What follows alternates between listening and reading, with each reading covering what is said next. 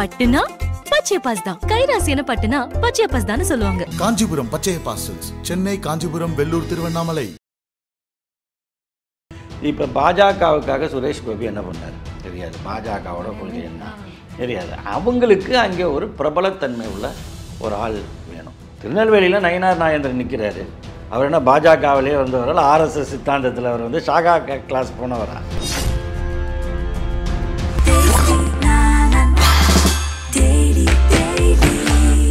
Daily taste daily இந்த மாதிரி தான் வந்து அன்னைக்கெல்லாம் இயக்கத்தோட இயக்கத்தினால் தனக்கு ஒரு இதுவும் அடையாளமும் தன்னால் இயக்கத்தினுடைய பலம் வலிமை கூடுவதற்கான செயல்பாடுகளும் இருந்தது. இப்போ அதெல்லாம் கிடையாது. சீட்டு செலவு அதுக்கு ஒரு ஃபேஸ் வேல்யூ அதுதான். அதோட சிக்கல் தான் இப்போ நீங்கள் வந்து ஆனா நடிகர் விஜய் வந்துட்டு என்ன சொல்றாருன்னா நான் அரசியலுக்கு வரேன்னாலே திரைத்துறையை நான் முழுமையாக தள்ளி வச்சுட்டு தான்ப்பா வருவேன் அப்படின்னு சொல்லியிருக்காங்க. இல்லை அது வந்து ஒரு அந்த மாதிரியான முடிவுகளை நிறைய பேர் முன்கூட்டியும் எடுத்திருக்காங்க. விஜயும் அதே நோக்கி தான் போகிறார் இப்போ விஜயகாந்த் இருந்தார் நமக்கு நிறைய பேருக்கு பாக்யராஜ் ஒரு கட்சி ஆரம்பித்தார் டி ராஜேந்தர் ரெண்டு கட்சி ஆரம்பிச்சிருக்காரு. அது மாதிரிலாம் வந்து நிறைய நடிகர்கள் வந்துட்டு வந்துட்டு போயிருக்காங்க. ஏன் இப்போ அமைச்சராக இருக்கிற உதயநிதி ஸ்டாலின் அவரே எடுத்துங்க அவர் இளைஞரணி செயலாளர் திமுக இளைஞரணி செயலாளர். இது எல்லாத்தையும் படத்தை முடிச்சுட்டு தான் அவர் வந்து அமைச்சர் பொறுப்புக்கு வந்துட்டார். அமைச்சர் பொறுப்புக்கு வந்த பிறகு நான் இனிமேல் நடிக்கலை அப்படிங்கிறது. இது எல்லாருமே எடுக்கக்கூடிய முடிவு தான். ஆனால் இவர் விஜய் அரசியலுக்கு வர்றதுக்கு முன்னாடியே நான் வருவேன். வந்தனாலே நான் விட்டுட்டு தான் வருவேன் எனக்கு அமைச்சர் பொறுப்பு கிடைச்சதுக்கு அப்புறம் விடுறணும் இல்லை தேர்தல் பரப்புரைகளுக்கு அப்புறம் விடுறணும் அப்படிலாம் இல்லை. நான் முன்னாடியே சொல்கிறேன் அப்படின்றாரு. இவர் வந்து முன்கூட்டி அறிவிச்சிருக்காரு நான் கட்சி ஆரம்பிக்க போகிறேன் அப்படின்னு அறிவித்து கட்சிக்கு ஒரு அட்வான்ஸ் புக்கிங்க அப்படிங்கிற மாதிரியான ஒரு தன்மை வந்து இவரோட இதில் இருக்குது அதனால பிளான் இருக்குது இவருக்கு. அதுதான் விஷயம். ஒரு ஒரு அவர் மனசுக்குள்ளே ஒரு திட்டம் இருக்குது என்னவோ திட்டம் இருக்குன்னு ரஜினி படத்தில்.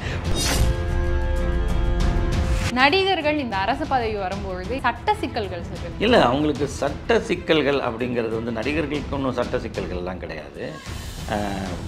ஏதாவது ஒரு சிக்கல் காரணமாக பல பேர் அரசியலுக்கு வருவது என்பது இருக்குது.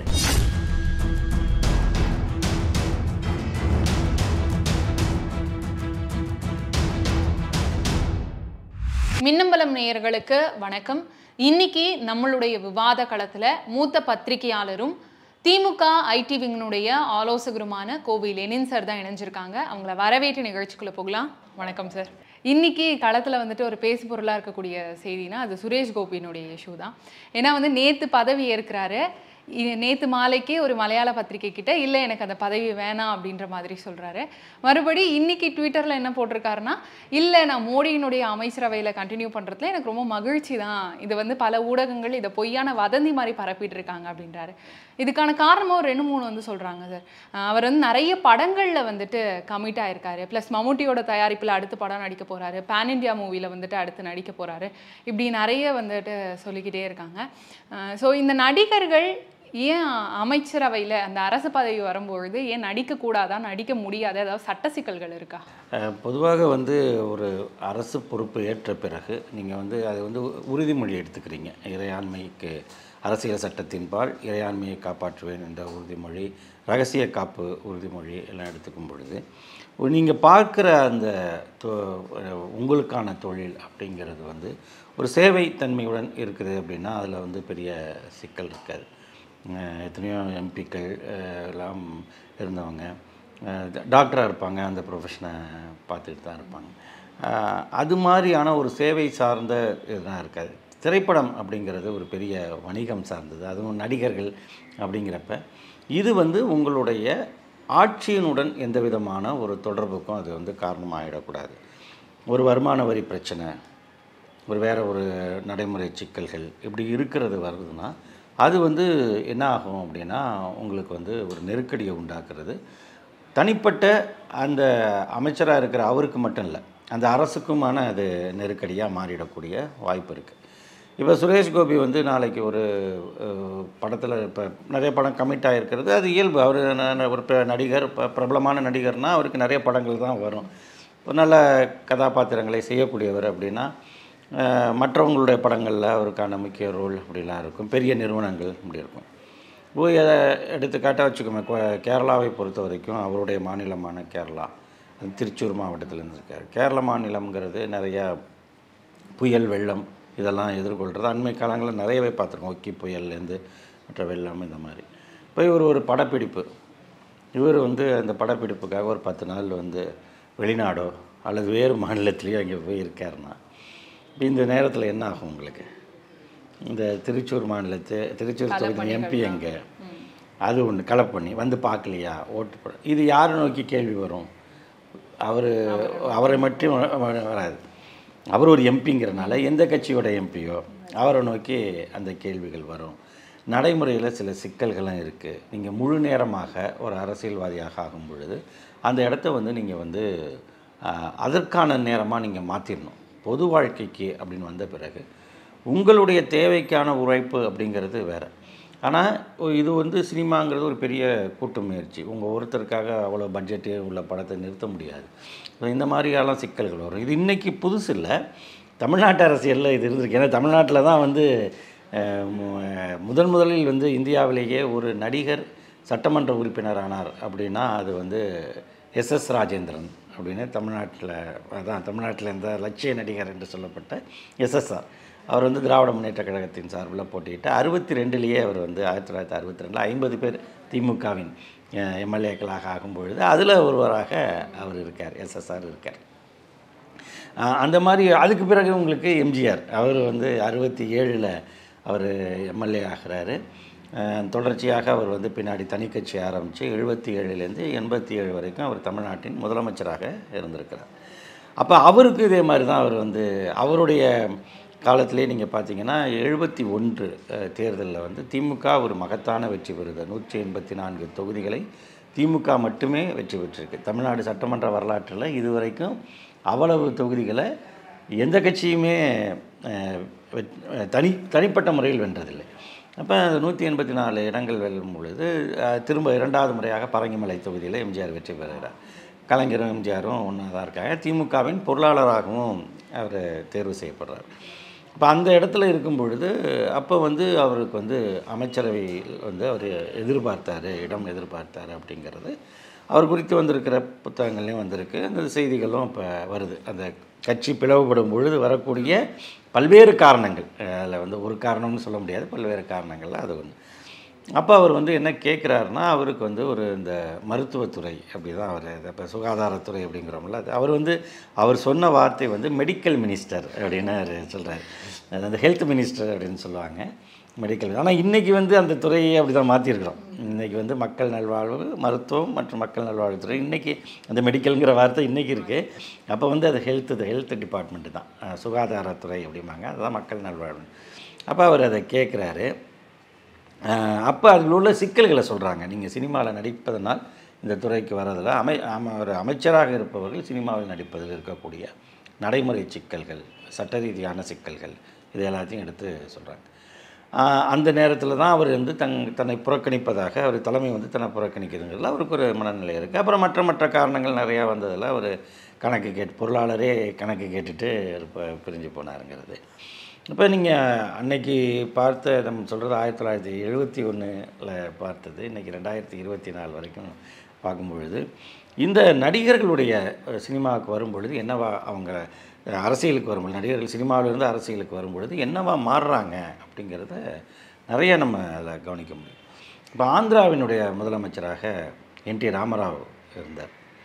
அவர் வந்து அவர் நடித்த படங்கள்லாம் பார்த்திங்கன்னா ராமாயணம் ராமர் கிருஷ்ணர் இதெல்லாம் நடிப்பார். இப்போ சம்பூர்ண ராமாயணம்னு ஒரு படம் இருக்குது தமிழில் வந்த ப பழைய படம் அது. அதில் ராமர் யாருன்னா இவர் தான் என்டிஆர் தான் அதில் ராமராவ் வருவார். அப்புறம் கர்ணன் சிவாஜி நடித்த கர்ணன் அந்த படம் பார்த்திங்கன்னா அதில் கிருஷ்ணரா யார் வருவா அப்படின்னா என்டிஆர் தான் வருவார்.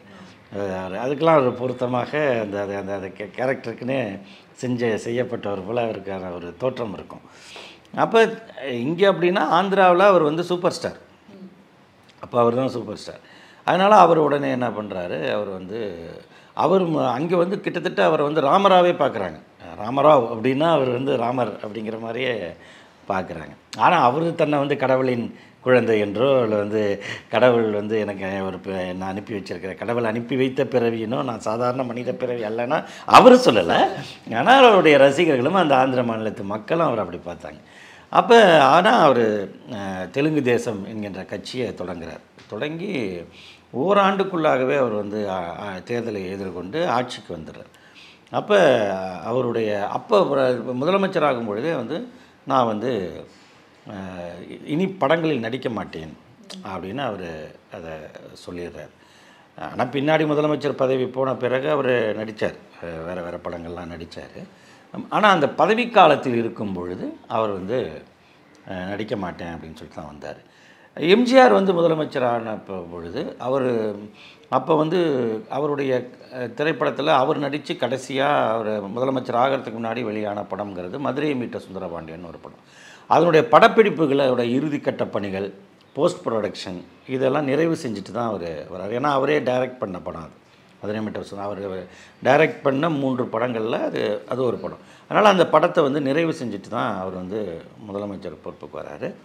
அதன் பிறகு அவருடைய படங்கள் பாதியில் நின்று போன படங்கள் வேறு வேறு இயக்குநர்களால் இயக்குனர்களால் அதை வந்து அவர் இருக்கிற காட்சிகளை வச்சுக்கிட்டு பண்ணாங்க. அதில் பாக்யராஜ் கூட ஒரு படம் எடுத்து பண்ணார் அதில். அவசர போலீஸ் நூறு அப்படின்னு ஒரு படம். அண்ணா நீ என் தெய்வம் அப்படின்னு ஒரு படம் இவர் நடித்து கொஞ்சமாக எடுக்கப்பட்ட படம். அப்படியே நிற்கிது ஸ்ரீதர் டைரக்ஷனில். அப்புறம் பாக்யராஜ் அதை எடுத்துகிட்டு எம்ஜிஆர் இருக்கும் பொழுதே அந்த படத்துக்கு பூஜை போடுறார். அவசர போலீஸ் நூறு அப்படின்னு போட்டு இந்த கதையும் அந்த இவர் ஒரு திரைக்கதையை உருவாக்கி அதோட ஒட்ட வச்சு படம் வெளியாகும் பொழுது எம்ஜிஆர் இல்லை. அவர் இறந்துடுறார். ஒரு ம- அதனால் ஆயிரத்தி தொள்ளாயிரத்தி தொண்ணூறில் தான் அந்த படம் ரிலீஸ் ஆகுது. இவர் எண்பத்தி ஏழுலேயே இறந்து போயிடுறார். அந்த மாதிரியெல்லாம் வந்து இவரோட படங்கள் இன்னும் நல்லதை நாடு கேட்கும் அப்படின்னு ஒரு படம். அதில் வந்து எம்ஜிஆர் நடித்த ஒரு சின்ன காட்சி. அதுக்கப்புறம் ஜேபிஆர்னு கல்வி குழுமங்கள்லாம் நடத்திட்டு இருக்க இந்த தலைவர் அவர். அது அதிமுகவில் அப்போ ஒரு பெரிய அதிரடியான ஒரு தலைவராக இருந்தவர். அதனால் அவர் அந்த காட்சிகள் எடுத்து அவரே மிச்சத்தில் அவர் ஹீரோவாக நடித்து இப்படிலாம். இது இப்படி நிறைய நீங்கள் சினிமா நீங்கள் பார்க்கும் பொழுது இவர்கள் முதலமைச்சராக இருக்கும் பொழுதோ அல்லது அமைச்சர் பொறுப்பில் இருக்கும் பொழுதோ ஒருத்தங்க நடிக்கிறது அப்படிங்கிறது வந்து இந்த மாதிரியான நெறிமுறைக்கும் சரி அது வந்து ஒரு தார்மீக நெறிமுறைகள் அடிப்படையில் சரி சட்ட இதிலே அடிப்படையிலையும் சரி சிக்கல்களை உண்டாக்கும். அந்த பட நிறுவனங்கள் சார்ந்து அப்புறம் இவங்களோட வருமான வரி சார்ந்து இப்படி நிறைய இருக்கும். அப்புறம் இவங்களுடைய பணிச்சூழல் ஷூட்டிங் அந்த மாதிரி சூழலில் வரும் பொழுது இந்த பிரச்சனைகள்லாம் இருக்கும் அப்படிங்கிறது நிறையா நம்ம ப தொடர்ந்து பார்க்க முடியும். இன்னொரு செய்தி கூட உங்களுக்கு சொல்லலாம். கொஞ்சம் ஆயிரத்தி தொள்ளாயிரத்தி அறுபத்தஞ்சில் வந்து ஹிந்தி ஆதிக்க எதிர்ப்பு போராட்டம் கடுமையாக இருக்குது ஏன்னா ஹிந்தி மட்டுமே தான் இந்தியாவின் ஆட்சி மொழி அப்படின்னு லால் பகதூர் சாஸ்திரி காலத்தில் அதை உறுதிப்படுத்துகிறாங்க பா நம்முடைய அரசியல் சட்டம் நிறைவேற்றப்பட்டு பதினைந்து ஆண்டுகளில் இந்தியை வந்து நம்ம ஆட்சி மொழியாக ஆக்கிடணும் அது வரைக்கும் ஆங்கிலம் இணை ஆட்சி மொழியாக இருக்குது. அதுக்கப்புறம் இதை கொண்டு வந்துடணும் ஆனால் இந்த பதினைந்து ஆண்டுகளுக்குள்ள பல்வேறு சூழல்கள் ஏற்படுது. இப்போ தமிழ்நாடு வந்து இந்திய ஆதிக்கத்தை எதிர்க்கிற ஒரு மாநிலம். தமிழ்நாடு என்ன சொல்லுது? அண்ணாவே நாடாளுமன்றத்தில் என்ன சொல்கிறாரு நாஞ்சில் மனோகரன் அவர் வந்து ம மக்களவையில் அவர் என்ன சொல்கிறாரு அண்ணா மாநிலங்களவையில் என்ன சொல்கிறாங்கன்னா இந்தியாவில் இருக்கக்கூடிய அந்த மாநில மொழிகள் இருக்குல்ல. அந்த இன்றைக்கி இன்னைக்கு இருபத்தி ரெண்டு மொழிகள் இருக்கு. அன்றைக்கி பதினெட்டு பதினாறு செப்பு மொழி பதினெட்டுடையாள் என்று பாரதியார் சொன்ன மாதிரி. அந்த எல்லா மொழிகளையும் நீங்கள் ஆட்சி மொழி ஆக்கணும் அதுதான் இந்தியாவினுடைய கூட்டாட்சித்தன்மைக்கு இருக்கும். பெரும்பான்மையான மொழி அப்படிங்கிறதுக்காக நீங்கள் வந்து இந்தியா ஆக்குறதுங்கிறது அது எப்படி இருக்கும்? இப்போ நீங்கள் பெரும்பான்மை இது அடிப்படையில் தான் எல்லாம் முடிவு பண்ணுறீங்கன்னா இந்தியாவில் பெரும்பான்மையாக இருக்கக்கூடிய பறவை வந்து காக்கா தான். ஆனால் இந்தியாவின் தேசிய பறவைங்கிறது மயில் நீங்கள் வச்சுருக்கீங்கிறத அண்ணா அந்த ஒரு எடுத்துக்காட்டெல்லாம் சொல்கிறார் அந்த மாதிரி சூழலில் ஆயிரத்தி தொள்ளாயிரத்தி அறுபத்தஞ்சில் அப்போ பதினைந்து ஆண்டுகள்னால் ஐம்பதில் நாம் வந்து அரசியலமைப்பு சட்டம் நம்ம நிறைவேறுது குடியரசு ஆகிறோம். அப்போ பதினைஞ்சு ஆண்டு ஆண்டுகள்னா ஆயிரத்தி தொள்ளாயிரத்தி அறுபத்தஞ்சில் நம்ம இதுக்கு இந்த நோக்கி இவங்க நகரும் பொழுது இந்த சிக்கல்கள்லாம் இருக்குது ஏற்கனவே நேரு வந்து ஒரு உறுதிமொழி கொடுக்குறாரு. இந்தி பேசாத மாநிலத்து மக்கள் விரும்புகிற வரை ஆங்கிலம் இணை ஆட்சி மொழியாக நீடிக்கும்.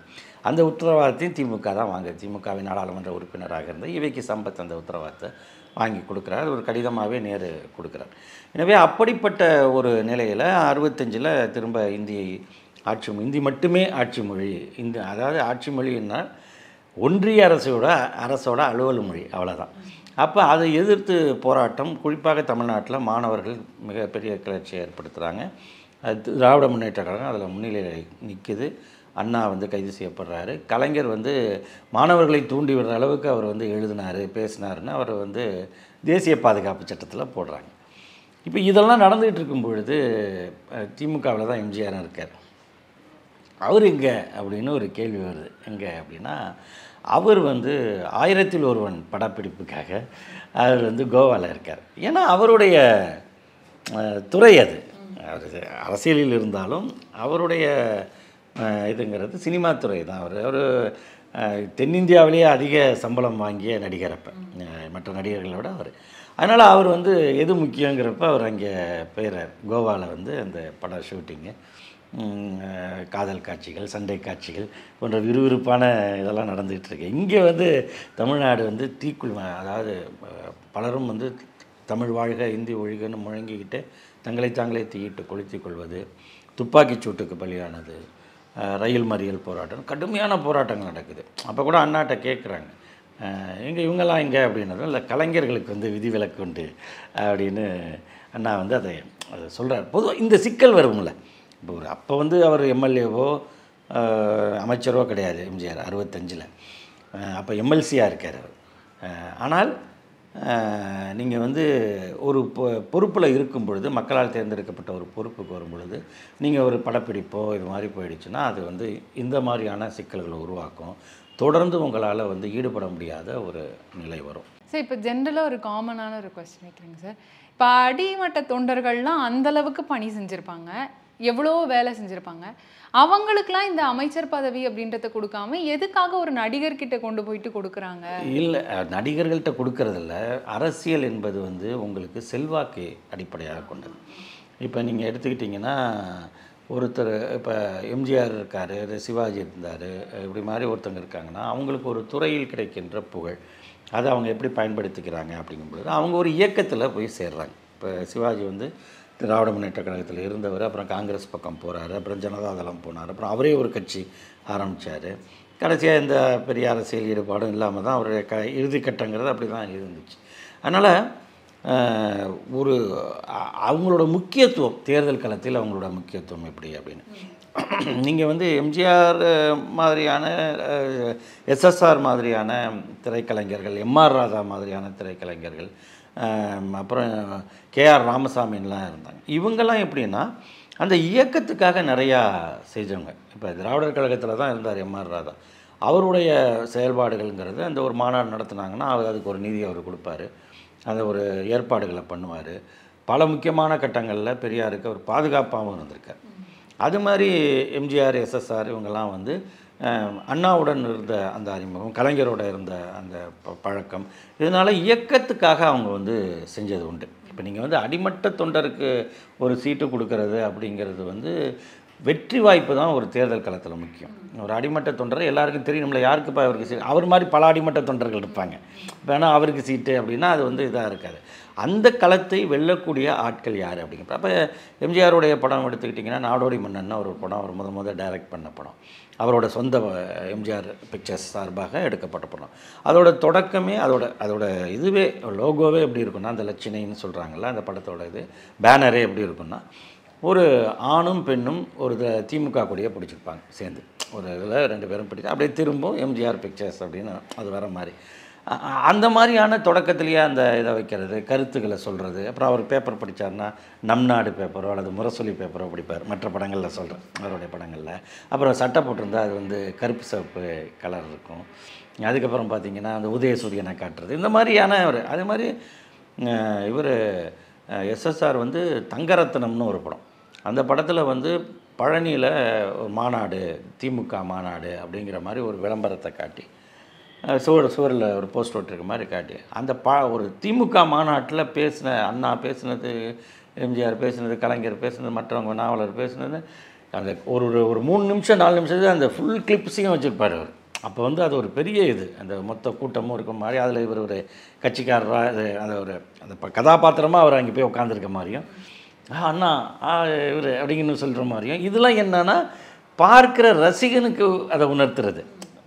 எஸ்எஸ்ஆருக்கு தெரியாத அது அண்ணான்ட்டு. இது ரசிகர் இ- இந்த மாதிரியான பங்களிப்புகள் இருக்குல்ல இது அன்றைக்கு வந்து இந்த அளவுக்கு கல்வி அறிவு வளராத ஒரு சமூகத்தில் வந்து அவங்களுக்கு வந்து எ- எளிய மக்கள்கிட்ட கிராமப்புற மக்கள்கிட்ட கொண்டு போகிறதில் ஒரு பங்களிப்பு இருந்தனால அண்ணா அதை வந்து பயன்படுத்தினார்.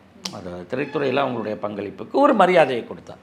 அவ்வளோ அந்த மாதிரி வந்து தொடர்ச்சியாக வந்து எல்லா கட்சியிலையும் இருந்துச்சு. இப்போ என்ன பண்ணிடுறாங்கன்னா நீங்கள் கேட்குற மாதிரி இப்போ பாஜகவுக்காக சுரேஷ் கோபி என்ன பண்ணார்?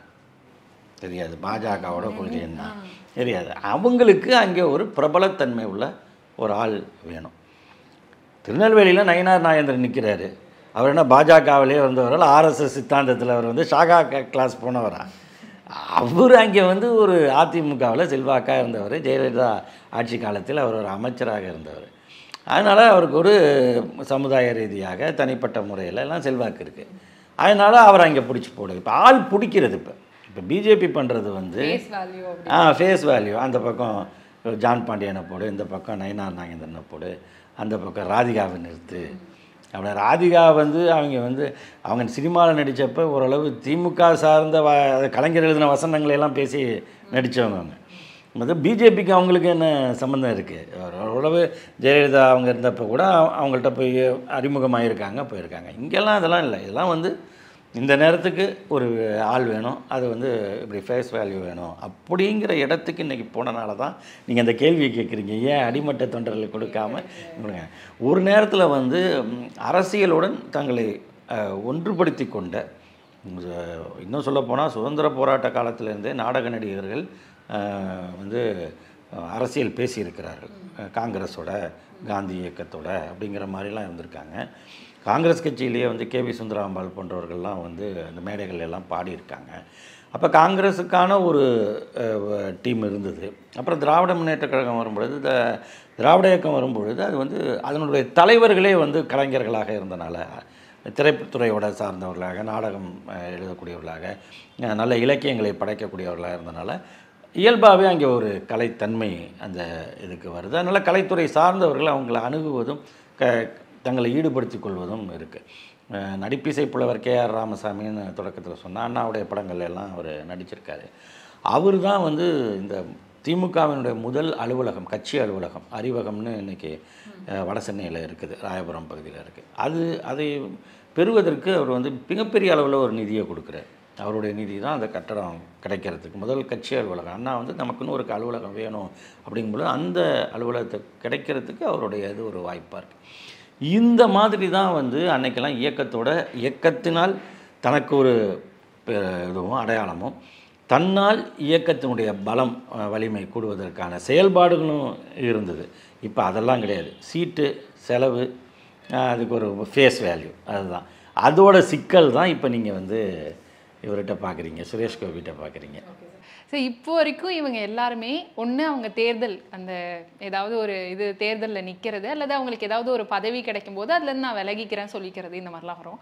ஆனால் நடிகர் விஜய் வந்துட்டு என்ன சொல்கிறாருன்னா நான் அரசியலுக்கு வரேன்னாலே நான் அரசியலில் இறங்க போகிறேன்னாலே இந்த திரைத்துறையை நான் முழுமையாக தள்ளி வச்சுட்டு தான்ப்பா வருவேன் அப்படின்னு சொல்லியிருக்காரு. இதை நீங்கள் எப்படி பார்க்குறீங்க இல்லை அது வந்து ஒரு அந்த மாதிரியான முடிவுகளை நிறைய பேர் முன்கூட்டியும் எடுத்திருக்காங்க. விஜயும் அதே நோக்கி தான் போகிறார் இப்போ விஜயகாந்த் இருந்தார் நமக்கு தமிழ்நாட்டில் அவர் ஒரு தனி கட்சி ஆரம்பித்து எம்ஜிஆர் சிவாஜிக்கு பிறகு வந்து நிறைய பேருக்கு பாக்யராஜ் ஒரு கட்சி ஆரம்பித்தார் டி ராஜேந்தர் ரெண்டு கட்சி ஆரம்பிச்சிருக்காரு. அது மாதிரிலாம் வந்து நிறையா நடிகர்கள் வந்துட்டு வந்துட்டு போயிருக்காங்க. ராமராஜன் வந்து ஒரு கட்சியில் இருந்தார் அப்புறம் தனியாக போனார் அப்புறம் வந்தாருங்கிற மாதிரி நிறைய சினிமா துறை சார்ந்தவர்கள் இருந்திருக்காங்க. எம்பி எம்எல்ஏக்களாலாம் கூட இருந்திருக்காங்க. இவர் வர்றதுக்கு முன்னாடியே கொஞ்சம் நல்லா ஸ்ட்ராங்காக பில்ட் பண்ணிக்கிட்டே ஆமாம் விஜயகாந்த் வந்து அவர் வரும்பொழுது ஒரு அதாவது அதிமுக திமுக தொடர்ச்சியாக அடுத்தடுத்து ஆட்சியில் இருந்த ஒரு கட்டம் வந்து கிட்டத்தட்ட நாற்பது ஆண்டுகள் அவங்க ஒரு கட்டத்துக்கு வந்தப்போ இவர் வந்து ஒரு தனி கட்சி ஆரம்பித்து இவர் வ வராரு. அப்போவே வந்து அவர் இந்த படங்களை எல்லாம் நிறுத்திட்டார். அந்த அரசியலுக்கு வரும்பொழுது அந்த இதெல்லாம் அவர் வந்து நிறுத்திட்டு அதுக்கு முன்னாடி நிறைய படங்கள் அதுலேயே வந்து இதெல்லாம் சொல்லிட்டு இருந்தார். அப்புறம் அவர் எம்எல்ஏவாக வெற்றி பெற்று வராரு. அதுக்கப்புறம் எதிர்க்கட்சி தலைவராக ஆகிறார். அது மாதிரி வந்து ஒவ்வொருத்தங்க ஒரு முடிவு எடுப்பாங்க. இது இதற்கு மேல் நமக்கு வந்து இது வேணாம். இதோட நம்ம வந்து அப்படிங்கிறது வந்து அந்த அந்த முடிவு தான். ஏன்னா அர அரசியலுக்கு வந்த பிறகு நீங்கள் வந்து இப்போ பொது வாழ்க்கையில் வந்த பிறகு நீங்கள் சினிமாக்குன்னு போனீங்கன்னா உங்களை அதுக்கும் ஒரு பெரிய அளவு நேரம் செலவிடணும். அது சாதாரணமான துறை அல்ல. அப்போ வந்து இது வந்து உங்களுக்கு விமர்சனங்களை தான் அதிகரிக்கும் அப்புறம் இங்கே வ வரும்பொழுது அப்போ இன்னொன்று பெரும்பாலும் எல்லாருமே வரும்பொழுது கிட்டத்தட்ட ரிட்டையர்மெண்ட் ஏஜுக்கு தான் வருவாங்க. அடுத்த ஜென்ரேஷன் அங்கே உருவாடு உருவாயிடும். அந்த திரைத்துறையில் அடுத்த கட்டம் வந்துடும் இப்போ அப்போ இவங்களுக்கு இவ்வளவு காலம் திரைத்துறையில் பெற்ற அந்த மதிப்பை இன்னொரு வகையாக மாற்றுவது அப்படிங்கிறப்ப திரும்பி இனி சினிமா வேணாம். நம்ம இங்கே முழுமையாக இங்கே ஈடுபடுவோம். அப்படிங்கிற ஒரு கட்டத்துக்கு அவங்க வராங்க. ஏன் இப்போ அமைச்சராக இருக்கிற உதயநிதி ஸ்டாலின் அவரே எடுத்துங்க. அவர் இளைஞரணி செயலாளர் திமுக இளைஞரணி செயலாளர். அவர் பட தயாரிப்பில் இருந்தார் பட விநியோகத்தில் இருந்தார் படத்தில் நடித்தார் எல்லா படங்களையும் அதை வந்து இதை நெஞ்சுக்கு நீதி நடித்தார் மாமன்னன். இது எல்லாத்தையும் படத்தை முடிச்சிட்டு தான் அவர் வந்து அமைச்சர் பொறுப்புக்கு வந்துட்டார். அமைச்சர் பொறுப்புக்கு வந்த பிறகு நான் இனிமேல் நடிக்கலை அப்படிங்கிறது. இது எல்லாருமே எடுக்கக்கூடிய முடிவு தான். இப்போ இவர் விஜய் அரசியலுக்கு வர்றதுக்கு முன்னாடியே நான் வருவேன் வந்தனாலே நான் விட்டுட்டு தான்ப்பா வருவேன் எனக்கு அமைச்சர் பொறுப்பு கிடைச்சதுக்கு அப்புறம் விடுறணும் இல்ல தேர்தல் பரப்புரையிலுக்கு அப்புறம் விடுறணும் அப்படிலாம் இல்லை. நான் முன்னாடியே சொல்றேன் அப்படின்றாரு. அவருக்கு நம்ம அது அதுதான் என்னன்னா மற்றவங்களுக்கும் விஜய்கிட்டையும் என்ன வித்தியாசம்னா மற்றவங்கலாம் வந்து இந்த நான் கட்சி ஆரம்பிக்க போகிறேன் அப்படின்லாம் சொல்ல ஆரம்பிச்சிட்டாங்க. இப்போ விஜய் இவர் என்ன பண்ணார்? விஜயகாந்தே எடுத்துக்கிட்டிங்கன்னா அவர் வந்து தன்னுடைய ரசிகர் மன்றத்தினருக்கு அந்த கொடியை பயன்படுத்தி நீங்கள் உள்ளாட்சி தேர்தலில் நில்லுங்கன்னு சொல்லி ரெண்டாயிரத்தி ஒன்று உள்ளாட்சி தேர்தலில் அவங்க நிற்கிறாங்க அப்போவே தெரிஞ்சிருச்சு இவங்க இவர் க இதுக்கு வராரு அப்படின்னு. ரெண்டாயிரத்தி அஞ்சில் அவர் கட்சியை ஆரம்பிச்சிட்டார்.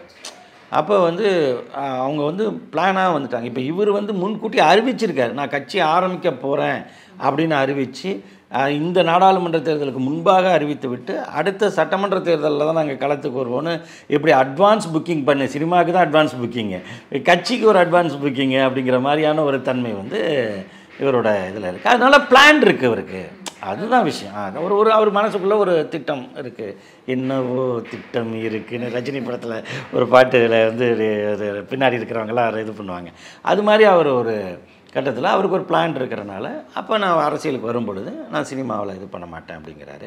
ஸோ இன்னமும் அவருக்கு படம் இருக்குது கோட் இருக்குது அதுக்கப்புறம் என்னன்னு பார்த்துட்டு கோட்டோட அது நிற்கிதா அப்படிங்கிறத என்ன. பார்ப்போம். அது நான் இருக்கேன் அதனால் பொதுவாக ஒரு விஷயம் என்னென்னா சுரேஷ் கோபி மாதிரி ஏதோ ஆள் கிடைச்சதுன்னு வந்து நின்றுட்டு அந்த மாதிரியான வலையில் சிக்கக்கூடாது எப்பொழுதுமே. உங்களுக்கு தெளிவான பார்வை இருக்கணும். ஒரு அரசியலுக்கு வ- சினிமாக்காரர்கள் அரசியலுக்கு வரலாம். அவர்கள் வெற்றி பெற்றதும் உண்டு படுதோல்வி அடைந்தவர்களும் உண்டு. இருந்ததெல்லாம் விட்டுட்டு போன ஆட்களும் இருக்காங்க. இதன் மூலமாக பெரிய ஆதாயம் அடைந்தவர்களும் இருக்காங்க அங்கேருந்து இங்கே வந்து. ரெண்டு வகையும் இருக்கிறது. சரி நம்ம இவ்வளோ நாள் சினிமாவில் இருந்துட்டோம் நிறையா சம்பாதிச்சிட்டோம். இனிமேல் என்ன? நம்ம ஒரு பொது வாழ்க்கைக்கு போவோமே கிடையாது. அடித்தா லக்கி ப்ரைஸு இல்லைனாலும் என்ன நமக்கு என்ன பெரிய ஒரு ஒரு இதனால் பெரிய இழப்பு இல்லை. அப்படின்னு நினைக்கிற இருக்கலாம். அதெல்லாம் அவங்கவங்களுடைய தனிப்பட்ட விருப்பம் சார்ந்து. ஆனால் இப்போ வரும் பொழுது இந்த பொது வாழ்க்கைங்கிறது ஏதோ ஈஸியாக இருக்குது அப்படின்னு நினச்சிடக்கூடாது அப்போ ஒரு அமைச்சர் பதவி அதுவும் ஒன்றியத்தில் ஒரு இணையமைச்சர் பதவியில் கிடைச்சிருக்குது எத்தனையோ இதில். ஒரு ரெப்ரசன்டேஷன் இன்னொன்று வந்து அவர் கேரளாவின் ரெப்ரசன்டேஷனாக மாறுறாரு. ஒரு மாநிலத்தின் காண பிரதிநிதித்துவமாக அது மாறுதில்ல. இப்போ நமக்கு வந்து தமிழ்நாட்டை எடுத்துங்க. இப்போ த தமிழ்நாட்டுக்கு என்ன பிரதிநிதித்துவம் இந்த இதில் இருக்குது ஏன்னா நாற்பதுக்கு நாற்பது திமுக கூட்டணி வெற்றி பெற்றுடுச்சு.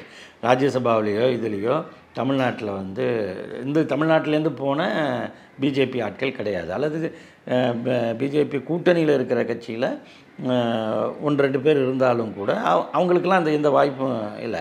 அப்போ நீங்கள் திரும்ப என்ன பண்ணுறீங்க நிர்மலா சீதாராமனை ஜெய்சங்கரை எல்முருகனை நம்ம தமிழ்நாட்டின் அடையாளமாக சொல்ல வேண்டியிருக்கு. ஆனால் அவங்க யாருமே வந்து தமிழ்நாட்டிலேருந்து ராஜ்யசபா எம்பி ஆகலை. அப்போ ஒரு மாநிலத்தின் பிரதிநிதித்துவங்கிறது எவ்வளோ ஒரு முக்கியமாக இருக்கும்? அப்போ அது அதுக்கு வந்து கேரளாவுக்கு ஒரு வாய்ப்பை கொடுக்குறாங்க. முதல் முறையாக வந்து பிஜேபி வெற்றி பெற்றிருக்கிற இடத்துக்கு அந்த வாய்ப்பை வந்து கொடுக்கும் பொழுது அதை இவர் வந்து சொன்னதும் திரும்ப வந்து அதுக்கு நீங்கள் சொன்ன மாதிரி ஒரு ட்வீட் போட்டிருக்கிறதுலையும் அதுக்குள்ளேயே நிறைய அரசியல் இருக்குது அப்படிங்கிறது நமக்கு தெரியுது. அவருடைய சார். நிறைவான கேள்வியா வரும் சார். நடிகர்கள் இந்த அரசியல் அரசியலுக்கு வர்றதுனால என்னென்ன சட்ட சிக்கல்கள் சார் இருக்கு? இல்லை அவங்களுக்கு சட்ட சிக்கல்கள் அப்படிங்கிறது வந்து நடிகர்களுக்கு ஒன்றும் சட்ட சிக்கல்கள்லாம் கிடையாது. ஏதாவது ஒரு சிக்கல் காரணமாக பல பேர் அரசியலுக்கு வருவது என்பது இருக்குது. அதுதான் சொல்ல நெருக்கடிகள் காரணமாக. ஏன்னா அவங்களுக்கு வந்து அது பெரிய மிகப்பெரிய ப பணப்புழக்கம் இருக்கக்கூடிய ஒரு துறையினாலையும் அதில் வந்து கோடிகளில் வந்து சம்பளம் அப்படிங்கிறது இருக்கிறதுனாலையும் உங்களுக்கு அதுக்கு கணக்கு காட்டுறது வருமான வரி இதெல்லாம் இருக்கும் பொழுது என்னதான் நீங்கள் பிளெயினாக வச்சுருந்தா கூட மேலே இருக்கிறவங்க அந்த அதிகாரத்தை பயன்படுத்தி உங்கள் செல்வாக்கை அவங்க பயன்படுத்திக்கணும். இல்லைன்னா உங்களுடைய செல்வாக்கை முடக்கணும். இதுதான் வந்து ஆரம்பத்துலேருந்து நடந்துக்கிட்டு இருக்கு பல கட்சிகள் தமிழ்நாட்டில் உருவானதன் பின்னணியில் இது மாதிரியான நடிகர்களுடைய இதில் வந்து இந்த இந்த துறைகள் இருக்குல்ல. இப்போ நம்ம இப்போ வந்து அது வந்து நடிகர்களுக்கு மட்டும் இல்லை முதலமைச்சர்களையே குறி வைக்கிற அமலாக்கத்துறை அமைச்சர்களை குறி வைக்கிற அமலாக்கத்துறை வருமான வரித்துறை சிபிஐ எல்லாம் இதெல்லாம் வந்து அங்கே மேலேருந்து கொக்கி போடும். அதுதானே தவிர மற்றபடி நீங்கள் வந்து உண்மையான பொதுநல அக்கறையோடு நீங்கள் மக்களுக்கு செய்யணும் அப்படின்னு நடிகர்கள் நினைத்தால் உண்மையிலேயே வந்து அவங்க செய்ய முடியும். ஒரு அவங்களுக்கு ஒரு லட்சிய பார்வை இருக்கணும். மக்கள்கிட்ட நம்பிக்கை ஏற்படுத்தக்கூடியவர்களாக இருக்கணும். அந்த மாதிரி இருந்ததுன்னா கண்டிப்பாக வந்து இருக்கலாம்.